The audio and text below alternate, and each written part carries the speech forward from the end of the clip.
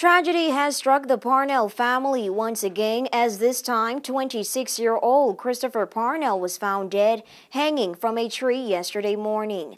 The quiet community of Blue Hills was turned into a frenzy of activity at around 10 a.m. when an unknown resident was passing through the Blue Hills Road behind the Oseta Jolly Primary School and saw something suspicious to which he alerted a friend who in turn called an employee of the school. That employee who asked that his face not be shown on camera said he rushed to the school and found the shirtless body of the Jamaican national with, quote, something around his neck hanging from a tree. The source said that he was so traumatized he stayed far away, contacted staff members of the school who in turn called 911.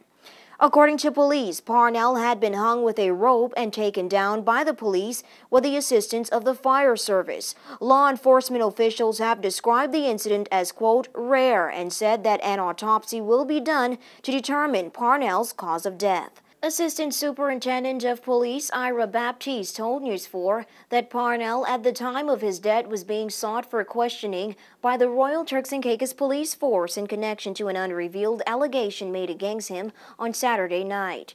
Christopher Parnell is the brother of 30-year-old Keisha Yolanda Parnell, who was allegedly stabbed to death by her boyfriend inside her residence on September 10th. Her brother, Christopher, during the ongoing murder trial, was apparently one of the most outraged and uneasy relatives about the court proceedings. Family members declined to comment on the incident. When News 4 visited the scene yesterday, branches of the tree had been severed and a large boat anchor was lying beside the tree.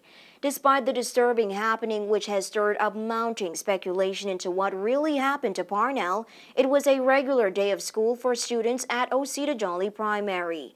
News 4 made numerous attempts to contact principal of the school, Rachel Hanfield, but was unsuccessful up until press time. Christopher was also a former student of the Blue Hills Primary School. Police are investigating. For WIV 4 News, I'm Akira John.